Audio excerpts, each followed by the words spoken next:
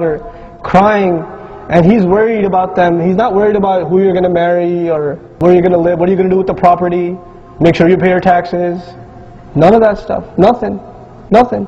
Make sure you finish college. No concerns. On his deathbed he says, Ya baniya, Oh my, my children, my sons, Inna Allah astafa lakum There's no doubt about it, it is Allah who has selected the deen for you. فَلَا تَمُوتُنَّ إِلَّا وَأَنْتُمْ مُسْلِمُونَ Don't you dare die, except you, that you're Muslim. And then he says, مَا تَعْبُدُونَ مِن بَعْدِي What are you going to worship after I'm gone? What are you going to do after I'm gone? What are you going to worship after I'm gone? And he didn't even say, مَن تَعْبُدُونَ He said, مَا تَعْبُدُونَ Which illustrates, he's quizzing them. What is it that you're going to do? What form of worship are you going to take? And they responded, نَعْبُدُ إِلَهَكَ وَإِلَهَ آبَائِكَ إِبْرَاهِيمَ وَإِسْمَعِيلَ وَإِسْحَاقَ إِلَهًا وَاحِدًا وَنَحْنُ لَهُ مُسْلِمُونَ We will worship your ilah and the ilah of your fathers, Ibrahim, Ismail, Ishaq, and we are Muslim completely to him. Now I'm going to close Mus'haf, inshallah ta'ala, and share some practical realities in contrast. Let's compare ourselves to what has just been learned. This is a story of old times. These are great children. At the end of this passage, you know what Allah says? تِلْكَ أُمَّةٌ قَدْ خَلَتْ That's a nation, they're already gone. They're already, they, they're past.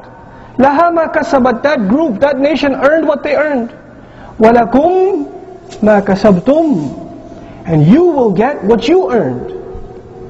You don't just think about them and say, oh, those were the good times. No, no, no, no. They got what they got. You will have to earn what you what you earn. You will have what you earn. وَلَا تُسْأَلُونَ amma kanu yamalun. You will not be interrogated about what they used to do. What, you, what will you be interrogated about? What you did. Allah's words at the end are, learn the lesson and change yourself. You won't be asked about whether you know the historical names and figures and dates, and can you name all the sons of Yaqub or not, alayhi salam. What will you be asked? What did you do with your children? What did you do? Now, I, uh, inshallah ta'ala, very briefly, I'm going to talk about a, a couple of things that are plaguing our ummah today.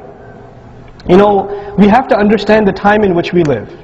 If we want to understand the teachings of our deen, we have to understand Quran and Sunnah, and we also have to have a good understanding of when we are living, where we are living, what is around us, what's happening in the society around us.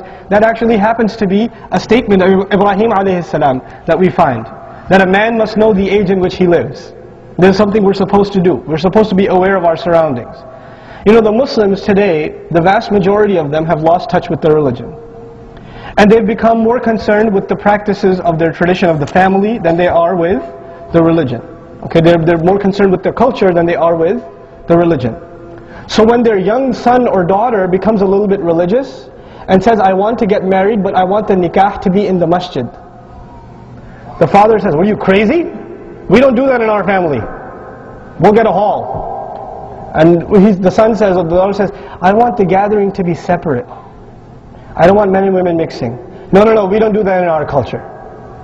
This is extreme. You're, you're turning into a crazy person. So we're not. Don't be crazy like that. That's not how we do things in our family. That's not our tradition. Have you heard that before? That's not our tradition. Okay, that's not your tradition. If you're, for example, from the Indo-Pak or the Arab society, right? That's not your tradition. But what about your fathers and their fathers and their fathers and their fathers? If you go back seven or eight generations, your great, great, great, great, great grandfather would have said the same thing that this youth is saying. So whose truth is the tradition? who's upholding the tradition? And who's defying the tradition?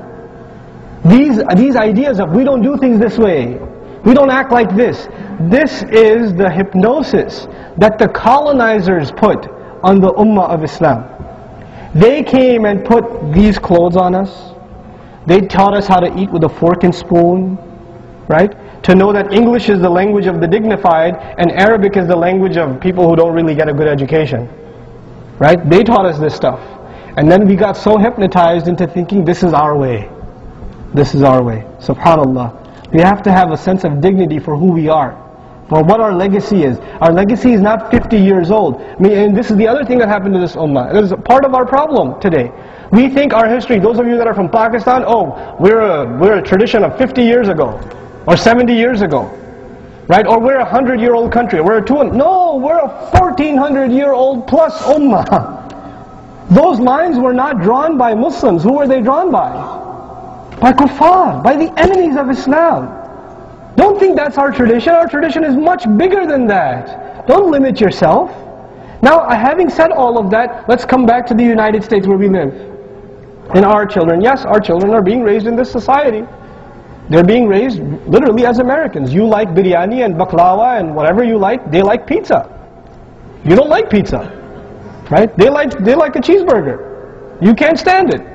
And the things that you laugh at, they don't laugh at. And the things you, the, the things you eat for sweets, they're allergic to. They'd rather have a candy, chocolate bar, or something, right? It's a different culture. The, what they like to eat, how they speak, what they like, what, how they entertain themselves is different from you.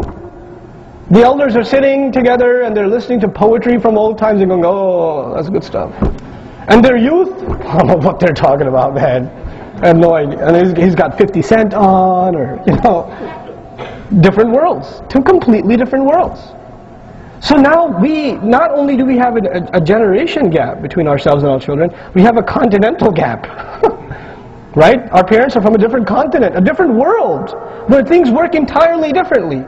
But what's happened, and this is my assessment of it, what's happened is, when we come to the United States, we've built these masajid, alhamdulillah, may Allah reward those, put even a penny in the building of the masajid, because if it wasn't for the building of the masajid, we would not be sitting here today. There would be no da'wah of Islam. So we reward, we, we ask Allah to reward the people who spend even a penny for the sake of Allah in building His house. Right? So this is, this is a great contribution to this ummah. But then what happened is the problem too. Let's talk about the problem too. Let's not only talk about the good, let's talk about the bad too. So we built our masajid and then right now when you, when you turn on Sinat, it's America. And when you turn into a, the parking lot and you park your car, now we're in Pakistan. And when you enter in here, it's Cairo or, or, or Lahore or Hyderabad in here. We've left America. We're in a different country here. Right? And we act that way too. You would never do the things you would do in a, in a, a masjid bathroom, in any other bathroom. you would never park your car in any other parking lot the way you park it at the masjid, because you're in Pakistan when you get in here. right? It's the, it's the mentality of the Muslim. We, we, we're, we're, so this is an island where we own, it's, it's like back nostalgia from back home. Now the thing is, back home things were a little different the Imam would come, he would give a dars in Arabic, he would give a lecture in Urdu, or in Bangla, or in Malay, or in Thai, or, or, or like in Turkish, right? And you would listen and you would enjoy. Is that going to work here? Well, it's not going to work here. And you know why, the, the biggest proof that it doesn't work here? The, the shuyukh are here, the great scholars are here, and they're wonderful, but when they're talking, who's listening? The elders are listening. Where are their kids? Outside in the parking lot, out in the basketball court. It's a great court, by the way, right? They're, they're in the court. They're not here. They're not here. And masjid after masjid after masjid is having fight over who should be the imam of the masjid. Should it be from this country? Should it be from that country? Should it be from this madrasa or that madrasa? Should it be from this ideology or that ideology? No matter who you get, guess who doesn't care? Your kids. They don't care. They couldn't care less. So we're fighting over things that don't make any sense. We've left the legacy of Ibrahim alayhi salam. We've left it. Our, his primary concern is who? His children. His, what do we do in this masjid? And every masjid in the United States, what do we do at our masjid that turns this a magnet for young people? Turns this into a place where young people heard. They flock to it. Instead of a place that they run away from instead of a place that they run away from. This is the first concern. And by the way, just to add a little bit of irony to all of this, Ibrahim alayhi salam was building what when he asked for those future generations? He's building Allah's house. Allah's house has directly something to do with preserving the future generations. If you lose connection with Allah's house, you've lost everything. You've lost everything. The masajid in this country are our refuge. Our refuge. Our youth, now let's talk a little bit about the youth and what their problems are. They're probably the, the number one catastrophe of our youth is they have no one to talk to. That's the number one catastrophe of our youth. Your child goes to school, let's say they go to public school, that's the majority of Muslims, they, they put their children in public school because they can't afford Islamic school or whatever reason, right? We don't blame them for it, that's their circumstance. So they put their children in public school. By fifth or sixth grade, ch your children learn some pretty filthy vocabulary in this country. I don't care what state you're from.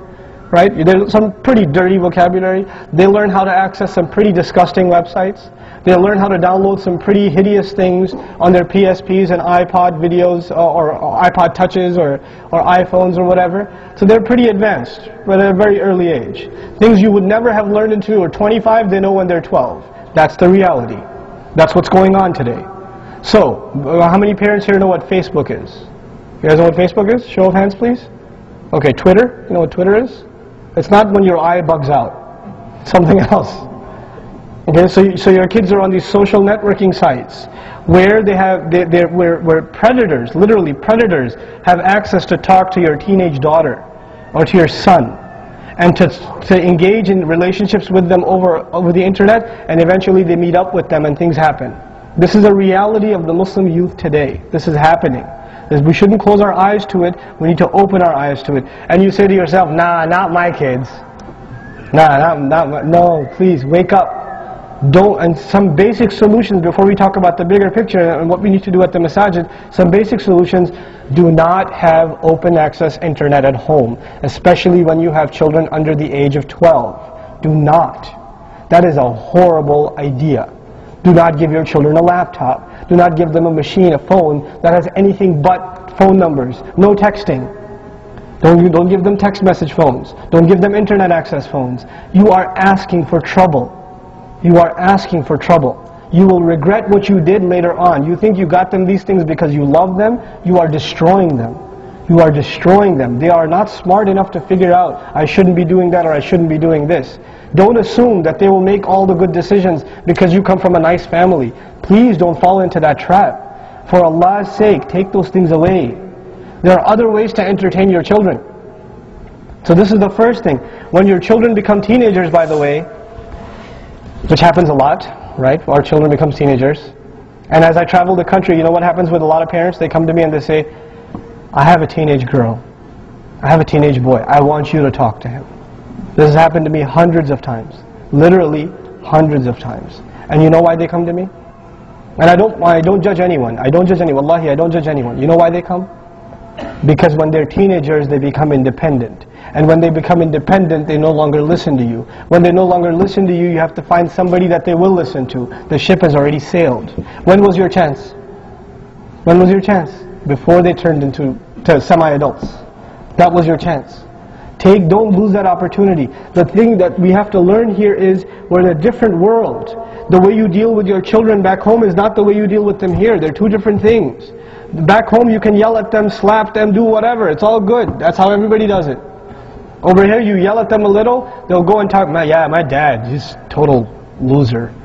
They'll talk about, you, you like that. They will, among the friends, they will talk. I used to run a Sunday school, I was the, the head of a Sunday school, and my job, primary job, you know what it was? It was to be a spy. That was my prime, it wasn't curriculum, or am I teaching Aqidah, or what textbooks to order, no, no, no, no, no, no, no. That will come later. Let me go around during recess and spy on the conversations these kids are having. My mom let me buy an NC-17 video game, and I'm only 8. She loves me. No, she doesn't. I have Grand Theft Auto, whatever, 85 now, right? Did you see that movie? It's PG-13, but I still got to go see it. Or it's rated R and I've seen it. We even have the DVD at home. This is what the kids are talking about. You're messing your kids up. You think you love them? This is love? This is what Ibrahim salam, would he approve of anything near this? Anything near, this is concern for children? Wake up. Really, wake up. We've, we've you know, uh, exposed our children to things in this society. It's, it's gone progressively worse, in media especially. So a movie that was PG-13 10 years ago is PG now. Okay, the, the standards have dropped. They, they're talking about it. It's not even me. They're talking about it. Right? So, uh, and, you know, for example,